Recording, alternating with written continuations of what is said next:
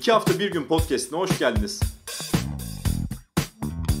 Konuklarımla iki hafta bir günde neler okuduklarını, neler izlediklerini, neler yaşadıklarını konuşacağız. Haydi kitap, dizi, film, olay, anı, deneyim ve daha fazlasını konuşmaya başlayalım.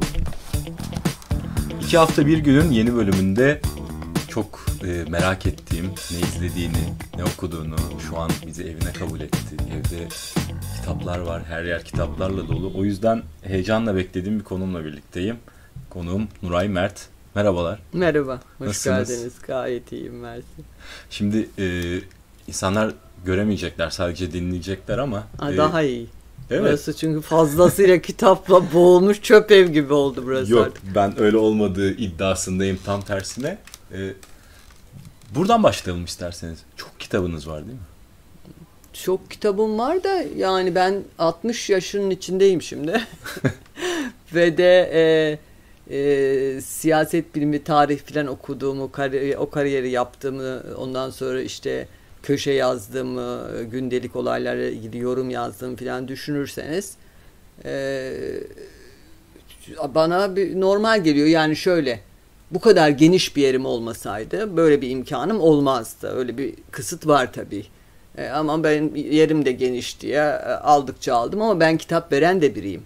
Yani tabii ki liseden itibaren kitaplarımı da saklayan obsesif biri değilim. Hatta bazı verdiklerime üzülüyorum çünkü çok taşındım. Nasıl yani herkes gibi. peki? Yani böyle eve konuk ettiğiniz, eve gelen birisi Hayır, alabilir dönem mi oradan bir dönem. kitap mesela? Hayır asla. Ondan bahsetmiyorum. Hayır dönem dönem çok taşındım. Takdir edersiniz ki bahsettiğim süreç yani liseden liseden sonra saysanız ki işte liseye kadar insan edebiyat okuyor bir şeyler bir şeyler okuyor o zaman. Daha çok edebiyat okuyor. Sosyal bilimlere insana edebiyat sevk ediyor. Ee, ondan sonra da hayatınızda bir sürü şey oluyor. Bir sürü yer değiştiriyorsunuz filan. Bu kitaplar bir böyle kambur diyelim. Güzel bir yük ama o yüzden e, çok taşındım ettim filan işte daha küçük eve çıktım daha bir tamamen evimi kapatıp yurt dışına gittim zamanlar oldu. E, o aralar mesela bazı şeyleri gözden çıktı. Mesela Türk edebiyatını ben tamamıyla edebiyatla alakam kalmadı. Şimdi çok e, kötü bir örneğim ben okuduğumda. Hiç kimse yani şey yapmasın. E, iyi bir örnek olarak söylemiyorum ama yani hep zaten okumayla işiniz olduğu zaman bir süre sonra artık yani veya benim durumumda tarih, marih filan hep okuma yoğun şeyler okursanız artık e, kurgu daha az yer kaplıyor yani sıfır değilse bile çok daha az giderek beni bende çok giderek azaldı. E, o yüzden e, yani o ilk böyle liselerden kalma, e, üniversitenin ilk zamanlarından kalma kitaplarımı tasfiye ettim. E, yani daha genç böyle işte meraklı birini gördüğüm zaman edebiyatların tamamını ona verdim.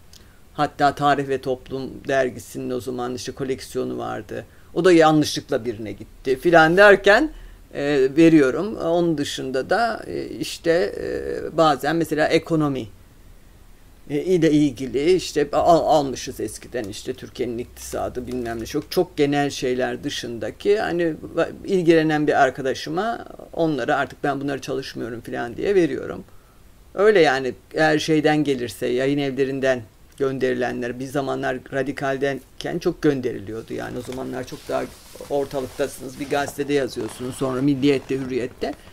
Ee, okumadıklarımı yani eğer roman okumadığım tür veya işte ne bileyim böyle bir sürü hani benim beni ilgilendirmeyen tür var. Yayın evleri sağ olsunlar gönderiyorlar. İyi de oluyor. Ben de onları yalnız şey gözetirim yani hiçbir sayfa şeyi Böyle ha, kapının önüne koyayım kim alırsa alsın yapmam. Mutlaka meraklısını bulurum. Doğru adreslere. Mutlaka meraklısını bulurum onlara veririm. Bir de benim sahaf e, böyle e, genç üniversiteli e, son zamanlarda işte felsefe doktorası yapan böyle bir bu civarlarda e, böyle gezici sahaf diyeyim. Bir arkadaş vardı mesela ona veriyordum. E, o da değerlendiriyordu. Yani öyle şeyler de var. Şimdi de öyle böyle sergi yapan bir e, şey var. Ee, bir arkadaş var Teşkiye Camii'nin oralarda. Onlara böyle elime geçen yani benim ilgilenmeyeceğim bir şey varsa hani biri ya okuyarak ya üzerinden birazcık para kazanarak e, şey yapsın kitap atmam yani hiçbir şekilde. Evdeki kitaplarla ilişkiniz nasıl? Evdeki, yani dönüp dönüp bak, bana fenalık bakar mısınız mesela nasıldı? dönüp dönüp bakarım o yüzden zaten kullanıyor yani bunları hala böyle saklıyorum. Evde çalışmak çok büyük bir lüks. Ee, yani elinizin altında e, eğer birinci kaynaktan bahsetmiyorsak diğer pek çok şeyin elinizin altında olması büyük bir lüks. Ee, yani hemen kalkıp birdenbire aklınıza bir şey geliyor. Aa işte tamam o rafa Suriye rafına bakayım. İşte Ha, öyle- orada öyle tasnifle. Anladım. Çok Tamam. titiz bir tasnif değil ama mesela evet. Aşağı yukarı. Yani evet ülkelere göre var. Yani benim uğraştığım Orta Doğu tabii her her ülke değil yani bir Portekiz rafım yok. ama ama Suriye, Mısır, İran, Pakistan, Hindistan, eee, Mısır, eee, Körfez bütün Orta Doğu ile ilgili onların tas, kendi tasnifleri var. Eee, işte veya şehirler işte gene daha çoğu Orta Doğu olmak üzere işte Kudüs, Şam bilmem ne bilmem ne üzerine olanlar. Onlar ayrı. Ee, zaten asıl benim çıkış noktam tabii Türk politik tarihi falan olduğu için modernleşme dönemi falan. Onlar zaten epey bir uzun zamandan kalanlar da var. Hep yeni çok şey çıkıyor. Çok güzel şeyler çıkıyor. Ee, çok seviniyorum. Anılar mesela biz yani ben 80'lerin başında e, bir ikinci bölüm olarak tarih okudum. Yani benim asıl siyaset bilimi, idare bilimler talebesiydim. Sonra bir ikinci lisans tarihte yaptım. O zaman e, o kadar azdı ki siz inanamazsınız ki sizin nesil yani. Böyle anılar manılar filan e, böyle bu- bulunmaz şeylerdi. E şimdi bakın yani inanılmaz. Herkese tavsiye edeceğim. Mesela hani reklam filan değil bu doğrusunu söylüyorum. Ee, şeyler e, yapı krediden de iyi çıkıyor ama mesela İş Bankası yayınları inanılmaz e, bir hizmet bence. Ee, yani ben bende eski versiyonu olan anıları bile tekrar çıktığı zaman alıyorum bazen. Ee, daha derli toplu İşte mesela biraz daha özensiz bir yerden çıkmış. Onları çok güzel yani ve hiç bilmediğim, etmediğim şimdi bir tanesini e, söyleyeceğim size. Tavsiye de edeceğim. Şimdi yeni başlay E, başladım. e, hadi o zaman oraya geçelim isterseniz. Bu aralar okuduğunuz kitaplara geçelim. Ha, ben de 4-5 kitap bir arada okurum. Ee, şimdi mesela e, böyle e, geçen iki haftanın kitapları e, suyunu çektiği için yeni başladıklarımlar işte İş Bankası demişken şu Şahende Hanım'ın Suzişli Hanı- Ha- Hatıraları diye demiş. Bu 1910'daki Cemiyeti Hafiye davasının tek kadın sanığı. Ya bu benim hiç bilmediğim e, böyle bir şahsiyetti mesela. E, biyografi çok okurum yani. Her türlü biyografi satın alırım. Yani en uyduruk böyle bir, bir, bir seri, bir sene yayın yapmış e, kitap evlerinin bile eğer birinin bir şekilde hasbelkader Dinleyenlere tavsiye ediyorsunuz tabii. Tabii ki yani bir konuyu bilebilmeniz için atmosfer. Mesela tarih okuyan hem öğrencilere hem ben meraklı arkadaşlarıma biyografi şey yaparım. Ee, biyografi okumak e, yani bu ikili bir süreçtir. Baştan insana e, benim böyle parlattığım kadar zevkli gelmeyebilir. Çünkü bize çok zevkli geliyor. Çünkü biz arka plan biliyoruz. Evet. Değil mi yani? Aa İttihat Terakki'nin o su bu su filan işte böyle bilinmedik yani sıradan bilinmedik insanlar bizim için çok tanıdık. Filan aa o filan amcasının oğlunun da anıları çıksa alacağız okuyacağız. Ee, bu insanı böyle baştan bir şey yapabilir. Aa, bah- bahsedilen dünyayı hiç bilmiyorum gibi. Oysa ki biyografi hem bizim gibi profesyonel olan insanlar için yani bildiğiniz şeyleri detaylandırır, nüanslı hale getirir, bir de atmosferi size verir. Ee, diğer taraftan da tarihe filan okumaya e, daha yani profesyonel değilseniz, e, amatör olarak, hobi olarak okuyorsanız da üst üste okursunuz. O zaman onlar bir birikim de sağlar. Yani birincisinden o kadar zevk almazsınız. Belki bilmediğiniz bir sürü X e, filan şey vardır. Fakat bir süre sonra onlar bir altyapı yaparlar. Kendi kendilerine örüldür o. Siz de fark etmezsiniz. E, iyi gider yani. E, ve Sonra hep- mesela aynı dönemi farklı farklı gözlerden görmek de çok e tabii işte aşağı yukarı öyle oluyor yani. Onun anısı, bunun anısı filan derken e, Cumhuriyet'in ilk dönemleri mesela. E, Şevket Süreyya Aydemir. Ben modasının geçmediğini düşünüyorum. Yani dönüp dönüp okunması lazım. Yani Enver Paşa üçlüsünün de e, tek adamın da ikinci adamın da. Hani çok sıkıldınız. Suyu arayan adam. Neymiş bu adamın meselesi? Böyle böyle bir, bir yüzyıl başında bir adam nasıldır yani? Nedir? E, ilgilendiği şey nedir? Merak bir ettiği biyografi yazarı. meselesi nedir filan olarak da okuyabilirsiniz. Böyle yani yar bana bir eğlence şöyle bir yerden başlarsınız. E, Bence iyi sonuç verir yani ho- hoş Bu olur. kitaba gelirsek e, açıkçası ben de Buna e, ben de yeni başladım. Şahende çok- Hanım'ın kim olduğunu Şahende Hanım işte bir cemiyete hafiye davası var. İttihat Terakki aleyhine e, kurulduğu iddia edilen aslında kocası Mehmet Bey aranıyor. E, bulunamıyor sanık olarak. E, Şahende Hanım e, şey yapıyor. O, sanık olarak mahkeme açılıyor filan. Onun hikayesi. E, gene tabii İttihat Terakki dönemiyle ilgili. E bakın mesela böyle evet çok detay bir şey gibi ama böyle bir İttihat Terakki şeyi uyanır insanda. Hani buna bakarsınız. Aa bakayım İttihat Terakki neymiş aslında falan diye. Tekrar döner temel şeylere bakarsınız. Öyle öyle e, yani bir döneme e, bakmış olursunuz. E, yani ben tabii tarihçi olduğum için herkes sabah akşam tarih okusun diyemeyeceğim de e, tarihçi de, değilim zaten. Siyaset bilim ben yan olarak bir, bir lisans, bir yüksek lisans yaptım tarihte ve ama hobim olarak da çok tarih severim. E, ama e, Türkiye öyle bir ülke ki aslında her yerde öyle. E, gün bugünle ilgili her şey e, e, biliyorsunuz tarihsel referanslarla e, anlatıyoruz, tartışıyoruz. Sürekli yani televizyonu açtığınızda bir konu hop yeni bir terim çıkıyor ortaya. Bu da nereden çıktı? Yeni bir mevzu çıkıyor, bir kavram çıkıyor, bir kurum çıkıyor işte. Yani işte teşkilatı mahsusacı zihniyet filan. Evet. Evet. diyorsunuz mesela MIT filanla ilgili bir konu açıyor. İşte teşkilatı mahsus. Aa neydi teşkilatı mahsusa? O zaman ister, kaynağı, o zaman ister, kaynağı gitmek tabii gerekiyor. ister istemez bakacaksınız yani. İster istemez neymiş bu? Ne zaman kurulmuş? Ne etmiş? En azından çok böyle e, ortalama şeyleri bile isterseniz şeyden bakın o kadarını. Aha, yani internetten, nedir? İnternetten. Google'dan. Benim çok aram iyi değil ama şimdi artık o imkanlar da var. Evet. Hani bir fikriniz olur. Hı. Belki biraz daha ilginizi çekerse belki ne yazılmış diye bakarsınız. Yani bunlar öyle ipucu veren kitaplardır. Hı. Başka? Başka? Ee, e, yeni baş bu hafta başladığım şu e, çok sevdim Şaziye Karlıklı'nın e, bir gazeteci biyografi bizde az yazılıyor. E, oysa illa akademisyen olmaz gerekmez. Değerli toplu biyografi çıkabilir. Hele de konusu e, yani daha... Aslında gazeteciler çok uygun bence biyografi yazmaya. E, yani ama işte biraz kendi emek sarf ederseniz. Ha, tabii, yani. tabii iyi bir çalışma. E, ben Benli Belkıs'ı e, geçen sene çıktığında okumuştum. Yine Şaziye Karlıklı'nın. Ee, zaten onun kitap tanıtımını da yapacağım işte bu K24'te. Ee, bunu da yeni çıkardı. Türk Matahari'nin müthiş hikayesi. Ya, e, Emine Adalet Kara Kaküllü Kız. Buna şimdi bu, bugün başlıyor başladım. Daha henüz yeni. Ee, o da yani böyle herkesi yani içinde dediğim gibi referanslar sizi sık Bendi Belkıs'ta da öyle. Yani referanslar benim için daha anlamlı tabii.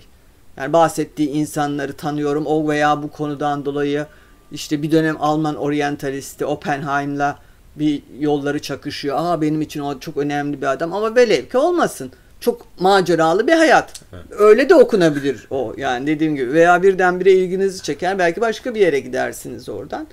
Ee, bu ikisini e, bu hafta e, e bugün hatta başlıyorum. Çünkü bitti elimdekiler. Ee, geçtiğimiz 15 günde bitenler neydi? 15 günde bitenler Şimdi bu çok fazla insanı ilgilendirmeyebilir. Bu benim tabii ister istemez insan kendi konusuyla da ilgili e, yani şeyleri de okuyor. Ben mümkün mertebe onlardan bahsetmeyeyim dedim ama Alman İmparatorluğu ve Türkistan diye bir araştırma 1910-1920 e, Fatih Çolak. E, bu benim çok işime yaradı. E, çünkü e, yani bunun üzerine ben etrafında da bazı şeyler yazdım bu Alman e, Osmanlı ittifakı işte büyük cihat dediğimiz şey var ya yani Birinci Dünya Savaşı'ndaki Osmanlı Alman e, ittifakı e, bu çok mühim bir konu. Üzerinde de çok şeyler çıktı dağınık olarak. Bunun bir ucu da aslında Rus Müslümanları. Yani Müslüman Rus ve bunlar aynı zamanda Türk diyoruz değil mi? Türk dünyası dediğimiz şey. Bu Birinci Dünya Savaşı'nda ee, bir yandan Osmanlılarla ittifak bir yandan da Rusya'ya karşı e, bu Müslüman milletleri ve sadece Müslüman milletleri değil Ukraynalı yani Rus Rus karşıtı milliyetleri e, ile kurdukları istihbarat ilişkileri filan. E, bu benim birçok bakımdan çok ilgilendiğim bir konudur. Hem aslında bu Rus Müslümanları, Türk dünyası dediğimiz dünya Türkiye'de milliyetçiliğin kuruculuğu ile de bağlantılıdır biliyorsun. Hep şeydir yani e, Türkiye devletlerden işte Samet Ağoğulları evet, falan e, Azerbaycan veya daha ötesi Zeki Velidi Togan daha ilerisi yani daha aşırı Türkçü. E, hem Türkiye'deki sağ düşünceyle alakası vardır. e, hem de bu ilişkiler 2. Dünya Savaşı'na da devam eder. Ve iyice e, enteresan bir hal alır diyeyim size. Daha Ve, Almanya ile Alman şimdi Nazilerle işbirliğine evriliyor. Ee, ondan sonra da e, bu ilişkiler soğuk savaşa da sarkıyor. Yani öyle bir alengirli bir şeydir o bu. Yani düğüm noktalarından biridir bu. Osmanlı, Türk dünyası dediğimiz veya Türk Rus e, imparatorluğunun daha sonra Sovyetlerin e, şeyinde şemsiyesi altında olan e, Müslüman Türkçe konuşan halklar, onlar ilişkileri, onların e, dediğim gibi bize e, yani e, bizim Türkiye'deki milliyetçilik, sağ milliyetçi düşünceye etkileri önemlidir bana sorarsanız. Dediğim gibi bir de Birinci Dünya Savaşı'nda biraz önce başlar, İkinci Dünya Savaşı Soğuk Savaş'a kadar gider. Yani çok önemli bir kesişme noktasıdır. O yüzden yani çok çok çok yeni bir e, malzeme değil. Bu, konuda bazı şeyler yazılmıştı ama gene de Fatih Çolak bir araştırmacı herhalde akademisyen doktora tezi olabilir.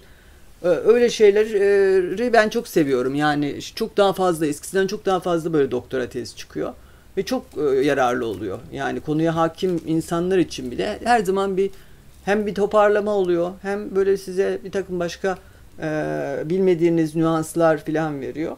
Onu çok severek, notlayarak okudum. Ee, şeyi e, bakın bu da bir seriyi e, şey yapabilir, den bahsedebiliriz. Ben en son biraz gecikmeli olarak çünkü Ekin Kadir Selçuk benim çok sevdiğim bir e, yani yarı öğrencim, yarı dostum diyeyim. E, onun e, bir kitabı e, iletişimden çıktı. Mücadele Birliği, Mücadeleciler, Mücadele Birliği diye. 1961-1980. Bunlar da yeniden milli mücadele diye bir grup vardır. Bazen adı geçer. Gene tartışmalarda filan, televizyon tartışmalarında bakarsınız. Böyle bir yeni ha filan Cemil Çiçek de yeniden işte Melih Gökçek de yeniden milli mücadelecilerdenmiş filan. Ee, aslında bu ve buna benzer sağ e, çevreler, e, bazen edebiyat çevreleri, bazen siyasal dergi çevreleri e, aslında Türkiye'de bazısı hala siyasi hayatta olan, bazısı geçmişteki işte sağ e, sağdan kastettiğimiz merkez hepsi aslında aynı havuzdan beslenir bana sorarsanız. İşte ülkücü, milliyetçi veya işte e, İslamcı e, işte Nizam Partisi'nden biri. O sağ e, havuzun zihin yapısı açısından e, ve hatta kadro işte açısından dediğim gibi hala yani aktif siyasette olanlar var. Onları anlamak açısından e, çok önemlidir. Yani bu çevreler bu e, şeyde e, Ekin'in kitabı da çok önemli bence o bakımdan. Yani o, o dönemi tanışmak ve dediğim gibi bazı size çok tanıdık gelecek insanlarla Soğuk Savaş döneminde ne yapıyorlardı? Çünkü Soğuk Savaş dönemindeki şeyi. Hı hı. Ee, Tekrarlayalım soğuk... tabii. Ekin Kadir Selçuk'un iletişim yayınlarından çıkan bir Mücadeleciler kitabı. Evet. Bu iletişim yayınlarından böyle bir seri kitap var. Ee, hepsine ben bakmaya çalışıyorum. Ee, Komünizmle Mücadele Dernekleri de çıkmıştı. Yani bu sağ cenahtaki hani e, zihniyet haritasını anlamak açısından bunlar bir seri. Ben en son işte Ekin'inkini gecikmeli olarak Şahanesiniz okudum. ne diyeyim. Niye? Ama işim bu yani. Evet, evet çok iyi, çok güzel. Bunu işte, bilerek sona sakladığınızı düşün. Hayır, sona saklamadım onu. Bir Öyle de mi? yani e, e, yabancı dil e, biz okuyoruz tabii bizim Aha. mesleğimiz. E, bir de yani bir yandan da e, evet orada çıkan şeyleri takip etmeye çalışırım. E, işte en son geçen hafta bitirdiğim bu şeydi. E, bu Insurgent Empire diye. E, Gopal. E, Priyam Vada Gopal hı hı. diye e, bir e, yeni revizyonist tarihçilerden e, zaten Bersu'dan çıkmış galiba evet. Britanya İmparatorluğu'na Britanya İmparatorluğu'nun karşıtı e, evet yani demiş. isyan eden imparatorluk diyelim. E, bunun şeyi yani tezli kitap bu. E, tarih kitabı ama işte nasıl aslında e, İngiliz İmparatorluğu özelinde e, nasıl e, bu e, kolonilerde yaşayan koloniz, e, Hindistan başta olmak üzere Mısır örneği ve Hindistan ve Çin filan gibi o alanı çok fokuslamış. E, oradaki direniş hareketlerinin ve anti kolonyal mücadelenin aslında İngiliz siyasetini de nasıl etkilediğini tersinden bakarak e, yani şey merkezi yapmış. nasıl etkiliyor? E, merkezi nasıl etkiliyor? Merkezdeki muhalefet, siyasal muhalefet söylemini nasıl etkiliyor? Ona bir takım itirazlarım var ama dediğim gibi o meslek içi şeyler. yani o çok sevdiğim bir arkadaşım onu bana getirdi. Kanada'da yaşayan e, Sedef Koç diye bir akademisyen arkadaşım. Onunla e, hatta e, bugün öğleden sonra buluşacağız bunu konuşmak için. İyi harika. E, sohbet konusu da çıkıyor tabii kitap okuyunca. E, o getirdiği için tabii o da okumuş oluyor. Böylece çok iyi bir fırsat oluyor yani üzerinde yani onun itirazı ne benim itirazım ne.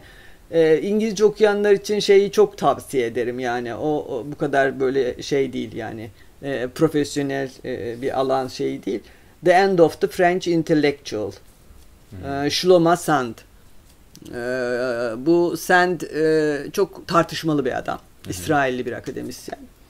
E, zaten hep böyle bütün kitapları ve yazıları çok tartışma yaratıyor. E, burada da e, Fransız entelektüelleri e, ne şöyle bir göz geçirmiş yani. E, böyle büyük şeyleri de yol e, kilometre taşlarını da mesela Dreyfus davası gibi. İşte ondan sonra Sartre'lar Nazi döneminde ne yaptı? Sartre, Beauvoir filan. Ee, o, ve ama bunların üzerinden sadece Fransız entelijensiyasını ilgilendiren bir kitap değil. Çok şey bulursunuz. Yani Türkiye entelijensiyası üzerine de. Çünkü e, yani o örnekler ve o atmosferi anlatmanın dışında e, kültürel üretimin e, de aslında bir hegemonya iddiası olduğunu biz kültürel hegemonya diyoruz ama onun ötesinde içinde entelektüel dünyanın içerisinde prestij savaşlarını, rekabetleri, iktidar savaşları. Kendi aslında. kendi ara evet entelektüel sınıfı nasıl konumlandıralım ve o sınıfın içerisinde nasıl iktidar mücadeleleri var. O açıdan çok zevkli. Ee, yani zaman zaman eğlenceli. Kimler çok zevkli. var mesela? İşte dediğim gibi şeyler. Sartre yani var, bizde Foucault çok biz, belki. bizde çok Foucault hayır yok, Yok mu? Foucault yok. Hayır Hı. o döneme kadar gelmemiş. Yani daha çok klasik entelektüel tarih üzerinden yürümüş ve önemli dönemeç denilen şeyler dediğim gibi mesela Dreyfus davası çok dönemeç gibi. İşte bu iddia ediyor ki e, aslında birinci dalgada yani ilk yargılamada çok da büyük öyle zannedildiği kadar büyük bir ses çıkmadı. İkincide şu koşullarla çıktı filan. Ama dediğim gibi asıl mesajı yani entelektüel dünyanın hani dışarı ve kendini takdim ettiği gibi bir, bir kere bir tek yekü, şey e, homojen olmadı. Evet. Ve ayrıca kendi içinde e, rekabetçi olduğu, iktidar mücadelelerin onların içinde de oldu. Ayrıca sınıfsal e, haritada entelektüellerin de aslında ayrıcalık bir yer, ayrıcalıklı bir yer teşkil ettiğini. Yani hep mağdur olan filan deriz biz. E, o yüzden e, zaten dediğim gibi böyle tartışmalı yazarlar çok keyiflidir. Çünkü yani böyle atıyor böyle çomak çünkü. sokarlar. Evet, evet. O, o, o yüzden o şey İngilizce okuyanlara ta- tavsiye ederim. E, Onu şey için çıkardım şu kitabı. E, Bunu göz attım. E, Ve çok iyi olduğuna karar verdim. Bana sürekli şey soruluyor. Hemen söyleyelim. Osmanlı İmparatorluğu ve Avrupa Jean-François Solmon'un Evet. kitabı. Çeviren de Ali Berktay. Ali Berktay o da İş, İş Bankası, Bankası. yayınlarından çıkmış. Bana sürekli olarak işte Osmanlı konusunda ne okuyalım? E, işte yakın tarihle ilgili yani bana da bizim gibi yani bu işle uğraşanlara da hep sorulur. E, onun için böyle e, yeni çıkan şeylere ben bakıyorum. Yani tavsiye edilebilir bir şey mi falan. Ben bile yani bakayım derken zevkle okudum. Yani sonuna, sonuna gelmedim galiba. O arada onu yarıda bırakmışım da henüz devam edeceğim. Hayır Dediğim ciddi gibi- bir kaynak. birkaç e, gayet ciddi ama şey e, yani genel okuyucuya e, yönelik bir Osmanlı tarihi. Yani böyle bıdı bıdı işte tam kronolojik tarih, sevmediğimiz tarih değil.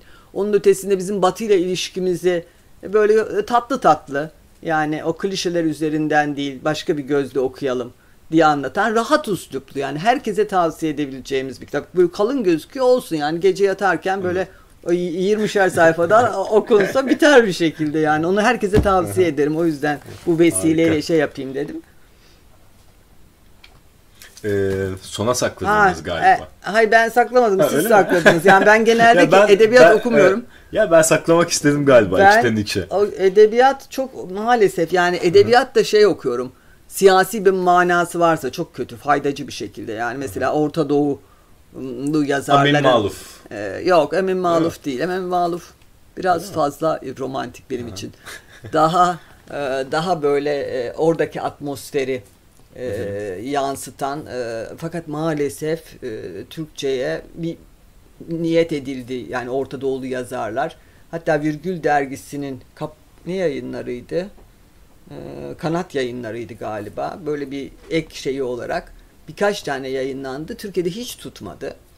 Ee, Orta Doğulu yazarlar, e, Arap dünyası yazarları. Oysa hep Orta Doğu ile uğraşıyoruz ve o atmosferi anlamak için dediğim gibi bir edebiyat alanını böyle faydacı bakmamak lazım ama ben biraz öyle bakıyorum. Pragmatik bir şekilde. Ee, evet e, ve de e, yani mesela Suud, Suudlu bir yazar e, tercüme etmişlerdi Adama diye bir romanını filan. Çok güzeldi ama o ta, devam etmedi. İngilizce de az çevriliyor doğrusunu söylemek gerekirse. Yani bizim uzağa ben de Arapça çok yani değil roman okumak çok çok az Arapça biliyorum. Ee, o yüzden İngilizcesinden bakmak zorunda kalıyorum. Yani şey olunca da roman olunca da ya bizim işte yok gene İttihat Terakki dönemleri o dönem bu dönem o dönemi yansıtan bu dönem hep böyle faydacı bakıyorum. Ee, ve çok fazla e, şey okumuyorum. Edebiyat o dışında okumuyorum. Şimdi şeyin Perihan'ın kitabını evet ayırdınız. E, çünkü Perihan'ın kitabını okumamıştım.